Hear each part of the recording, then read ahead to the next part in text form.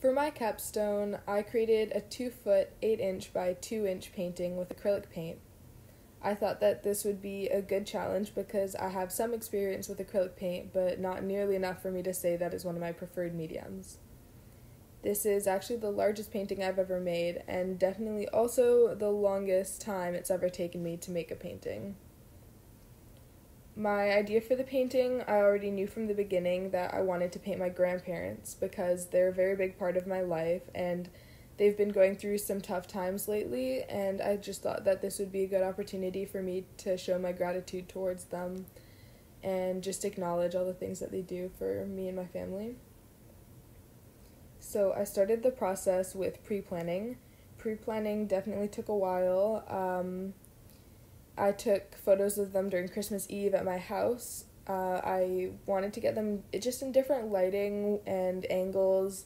They didn't know I was taking photos. I just wanted to get their genuine facial expressions, and I ended up using some of these photos for my studies.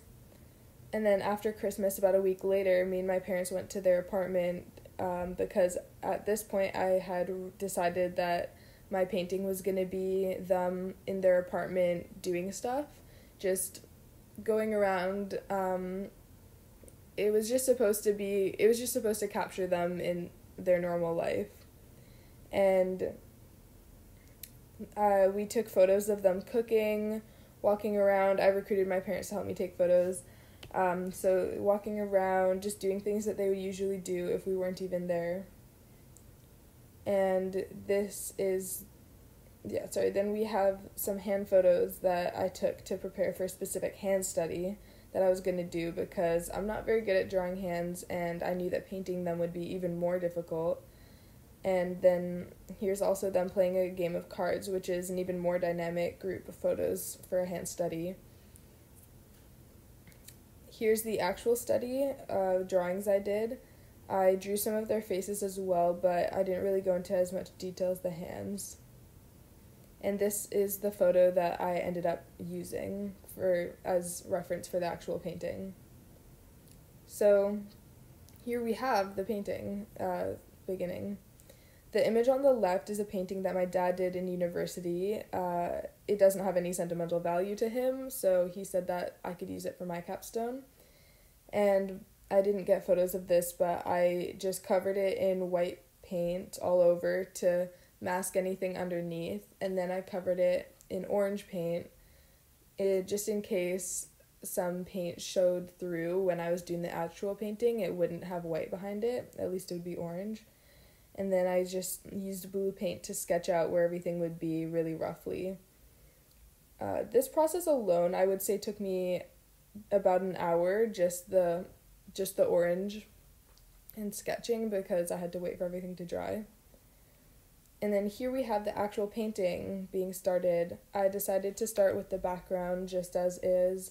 I added some beginning of plants and moss because I knew I wanted to do a photo of them in their apartment, but I wanted to add water all over the floor and lots of plants because my grandparents have a lot of connection with their garden and their own plants that they have outside, so I thought it would give kind of a dreamy effect to add all of the plants inside the apartment. Here's some of the photos of my grandpa, uh, Carl Christensen, or as I call him, Morfar, that I had taken. These are after I had finished the whole painting. Um, I don't think his face really looks like him, but I'm very proud of the jacket because I think it looks pretty accurate and it's if you know him, he wears that jacket every day, so it's kind of a staple Carl look. And then here's some photos of my grandma Bertha Christensen, which I painted her in the pictures. She was cooking and filling up water, but I decided to replace those with the plants in the sink and a bucket of blueberries because when me and my brother were little, we would go blueberry picking every summer and the moss and ladybugs and mushrooms all around the counter are also kind of a staple for them. They have a little diorama with all of those things with the mushrooms and moss and everything that they've just always had every year, even at their old house. So I thought I would include it. And then this table is just their dining room table with dishes and baked goods that my grandma has always ready to go. Um, I knew I would include these because it's just a classic grandparents thing to have baked goods all the time, I think. And I think, other than painting my grandpa, this table probably took me the second longest out of everything in the painting to get the detail on the food and plates as well as make the fabric look like fabric. I think I had to redo the table a couple times. And here's just some close up photos of the piece and then the final piece all together.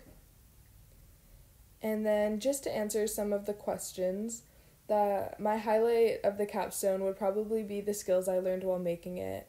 I noticed that I had gotten better at color matching and mixing paints because I the only paints I had access to were blue, yellow, pink, red, black and white, so every other color I had to mix.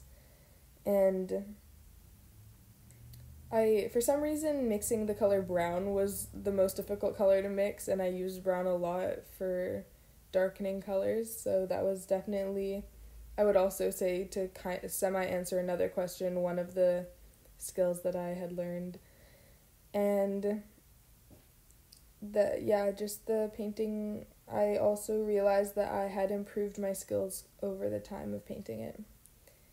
So, completing my capstone definitely taught me, as I had said already, more artistic skills. I definitely noticed my skills improve by the time I had finished the painting from when I had started, which was pretty cool, and I'm grateful for that opportunity to learn and self teach. As well as time management, I was able to actually sit down and draw and paint for hours a day, um, which I can kind of usually do, but I definitely during winter break spent uh, almost every day for like six hours a, a week, like working on this, and I'm pretty impressed with myself. Even my parents were surprised that I was able to work that long on it. And some difficulties I encountered would probably I'd say the biggest one would be letting myself just be okay with the fact that the painting wouldn't look exactly how I imagine, imagined it would be. Because whenever I try to paint things realistically, I need them to look very realistic. And I'm definitely more experienced in watercolor paint, and I can make pretty realistic images with that. But I knew beforehand I wouldn't be able to do the same with acrylic, and letting myself be creative and paint and know that my grandparents were probably not going to look exactly like how they look and not constantly redo everything would just be one of my biggest difficulties. And if I could do anything differently, I would I think I would just give myself more time. I spent weeks doing this, um, just the painting, but if I had given myself more time and taken into account the fact that I had university applications and other classes at the same time, then I wouldn't have had to stress as much or rush. And so I would have just started earlier if I had a second chance. And the capstone painting definitely ties into what I want to do in the future. Uh, the skills taught me it just gave me more experience in artistic skills that I'd like to apply in university as well. And because I'm trying to go to art school and I'm not completely sure what I want to do in the future in my adult life as career wise, but I know that for a fact that I want it to be creative, artistic, not even necessarily be an artist, but I need art to be somewhere in my life, it would be a major part because it's just been something that I've wanted to do forever and it's one of my biggest passions. So I'd say this painting very directly ties into that as well. And thank you. I think all the other questions that I didn't directly answer, I answered throughout my presentation.